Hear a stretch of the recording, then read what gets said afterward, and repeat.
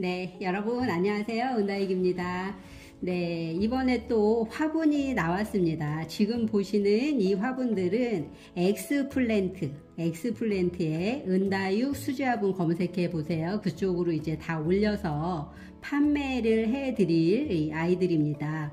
요즘 제가 그 다육이도 엑스플랜트에 많이 올려서 여러분들 판매해 드리고 있거든요. 한번 들어가셔서 엑스플랜트 들어가셔서 은다육 수제화분 한번 검색해 보시고요. 지금 여기에 나와 있는 이 화분들도 엑스플랜트에 지금 다 올리고 있습니다. 이번에 나온 것들인데요. 한번 보여드려 볼게요. 이거는 이 키가 15cm예요. 15cm짜리 롱분 스타일로 만들었는데 정말 예쁘게 고급지게 나왔습니다. 그 속파기 기법이라고 그래서 그 제가 영상에서도 몇 번 보여드려 봤었는데요. 그 흙을 여러분 이렇게 원하는 형태로 이렇게 롱본 스타일로 하셔도 되고 이런 거 다 지금 속파기로 한 거예요. 흙을 뭉치세요. 내가 원하는 디자인으로 이렇게 내가 둥글게 뭉쳐도 되고 내가 뭉쳐 놓은 대로 속만 파내면 되거든요. 그래서 이제 속파기 기법이라고 그러는데 이렇게 그 디자인을 어, 참 자연스러우면서도 이쁘게 이렇게 많이 만드실 수 있는 재미있는 방법이 이제 속파기 기법으로 만드시는 방법이에요. 이것도 다 속파기로 지금 만든 거예요.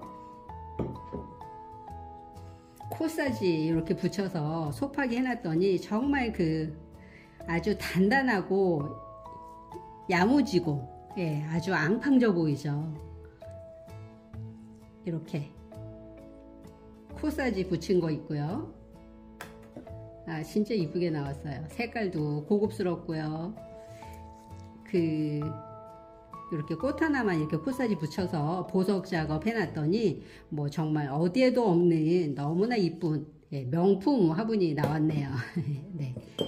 이 노란 색깔도 예, 이런 게 다 지금 제가 예, 이 형태가 좀 재미있죠. 여러분들이 만드는 대로 이렇게 나옵니다.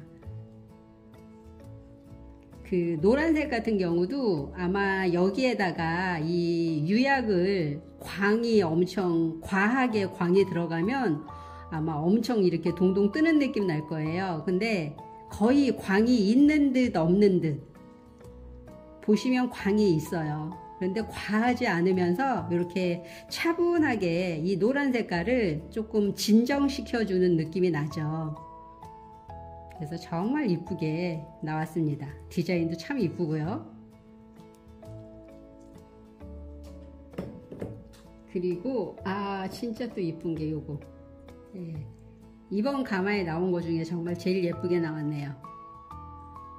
이것도 소파기 예.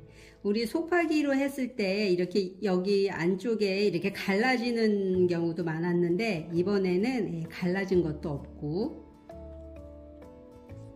이런 부분도 그대로 살렸어요. 이렇게 느낌 그대로 살려서 흙 있죠. 흙 보이는 느낌 그대로 살리고 예 이렇게 해서 작약 아, 진짜 너무 이쁘게 나왔죠. 이런 거는 정말 여러분들 딱 하나씩 해서 예, 심으시면 정말 이쁠 것 같습니다. 참 이쁘죠. 재미있죠? 이 속파기 기법이 이렇게 이쁘게 잘 나와요. 그래서 이번에는 이렇게 조금 조그만 사이즈 위주로 한번 만들어 봤고요. 지금 보시는 이런 것들은 제가 엑스플랜트에 올려놨습니다.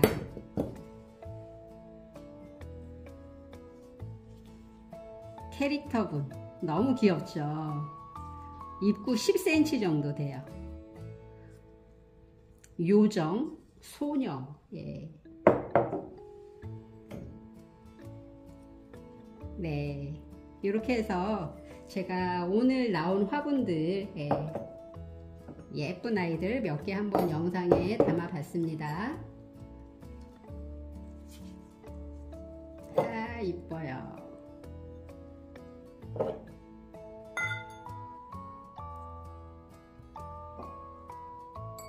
정말 이쁘죠?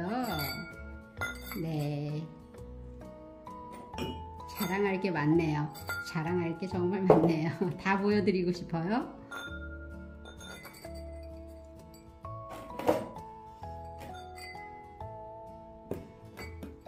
네. 이것으로 영상 마치겠습니다. 감사합니다. 은다이기였습니다.